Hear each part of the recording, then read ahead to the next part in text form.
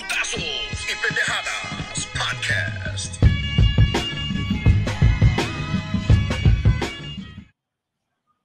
Welcome back to Putazos y Pendejadas, guys. About six weeks ago, David and I talked to you about Japanese sensation Naoya Inoue, the Japanese monster, multiple division champion. We all already know what he is. He took the you know boxing world by storm.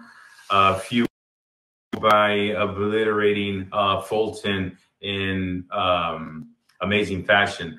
Uh, we all saw it. The whole boxing world was talking about it. Since then, everybody just went ahead and put them on their top 10. We have them in our top 10.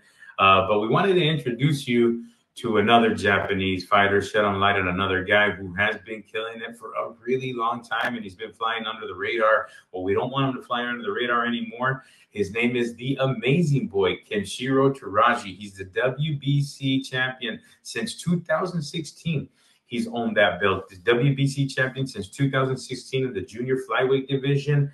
Um, he's defended that title multiple, multiple times. I believe he went on a nine title defense streak before losing it to Masamichi Yabuki, but then jumped right back in there and took that belt right back. So he's pretty much owned that WBC belt for a really long time. He has picked up the WBA belt along the way, so he does have two straps. Um, couple of things that I do like about Kenshiro Teraji is he has a really, really good jab. Let's go ahead and take a look at him here. Um, I want to show you his highlights because he is a very, very good Japanese fighter.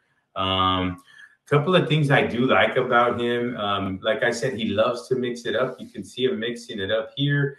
Um, with uh, Kyoguchi. That's that uh, one-two punch I talked about. He just pretty much slayed him with that one-two punch right here. You can see him mixing it up. He loves to be in a fight. Some, you know, one time it did affect him. He did lose, but he will mix it up. He loves to be in there and bang. You can see him here banging right there. Here he is showing off his uh, body blows. He's got really good body work. But like I said, his best punches are the one twos. See those straight one twos, man. He just throws them with such accuracy. There it is again. Um, here it is. You'll see it right to the body right there, man. His uppercuts are really good as well. He goes up and down. Um, but basically, the one two is what I like. He goes upstairs and downstairs with the one two, straight one, straight right. Look at that, guys.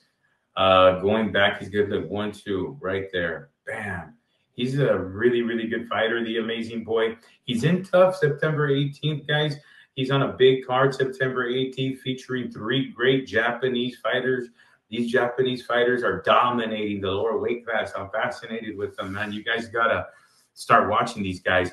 Um, he's got to fight Hekkie Budler. He's fighting Hekkie Budler on uh, September the 18th. Hekkie Budler, that South African uh, boxer, is no slouch either.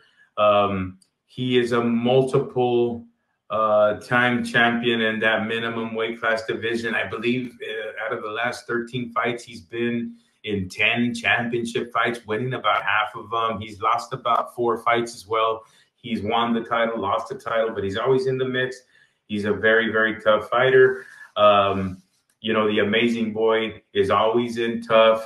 Um, September 18th, uh, uh, you know, going to be tough for him as well against that South African fighter. Don't miss it. It's a very good card on September the 18th. It's going to be in the morning.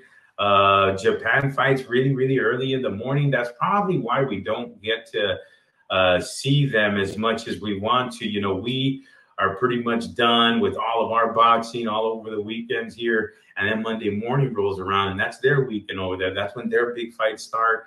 And we usually miss them. So we don't get to see or hear about how great these guys are in the lower weight classes. Um, Kenshiro Teraji, the amazing boy, he's somebody to look out for, guys. Um, that September 18th card will also feature uh, Junto Nakatani and other Japanese fighters as well. Uh, stay tuned for that. Uh, but like I said, guys, uh, Kenshiro Teraji, the amazing Japanese fighter doing amazing things.